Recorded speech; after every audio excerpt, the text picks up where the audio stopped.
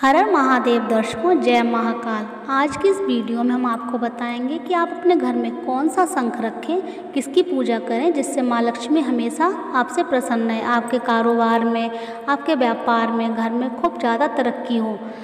वैसे तो शंख का बहुत ज़्यादा महत्व है हमारे हिंदू धर्म में।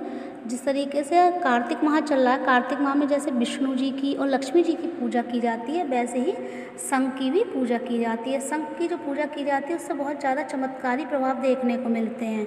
शंख की जो पूजा की जाए, शंख का बजाना बहुत ही ज़्यादा मंगलकारी माना जाता है, क्योंकि तो सभी देवी देवता शंख से प्रसन्न हो जाते हैं खास तौर से विष्णु भगवान।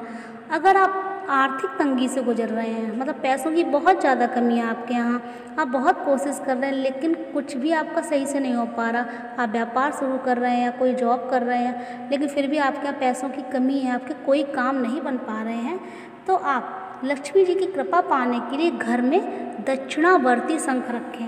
कौन सा शंख रखें? दक्षिणावर्ती आप शंख रखें और उसे विधि विधान के साथ स्थापित करें, नियमित उसकी पूजा करें और डेली उसे सुबह शाम उसे आप ज़रूर बजाएँ। इससे कहते हैं कि माँ लक्ष्मी बहुत ज़्यादा प्रसन्न होती हैं क्योंकि जो शंख होता है, इसमें भी वास होता है माँ लक्ष्मी का क्योंकि जो माँ लक्ष्मी है, माँ लक्ष्मी और शंख है ना जो दोनों भाई बहन माने जाते हैं क्योंकि ये दोनों समुद्र से इनकी उत्पत्ति हुई है। कोई भी आप कोई नया काम करें तो शंख बजा कर ही करें तो इसलिए आप अपने घर में शंख ज़रूर बजाएँ और दक्षिणावर्ती शंख रखें। अगर कोई ऊपरी बाधा है, भूत प्रेत का कोई ऐसा कुछ ऐसा है जिससे घर में आपके कोई दरिद्रता आ गई है, कोई कोई भी वजह हो दरिद्रता आने की, आपको ऐसा लग रहा है घर में कुछ हमारे किसी नज़र लग गई है, तब भी आप इसी शंख को बजाएँ और विधि विधान से सुबह शाम इसकी पूजा करें और फिर इसे बजाएँ।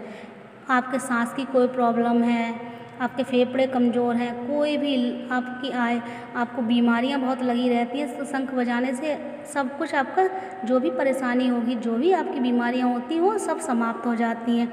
और घर से जो भी नकारात्मक ऊर्जा होती है, वो सारी निकल जाती है, सकारात्मक ऊर्जा प्रवेश कर जाती है।